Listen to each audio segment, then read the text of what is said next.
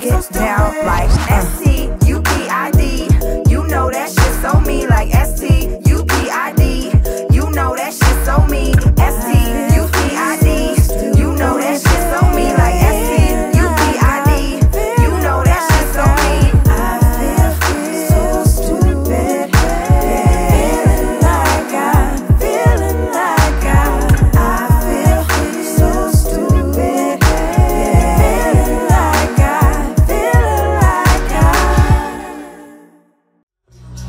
Toronto, thank you so much. We are trippy.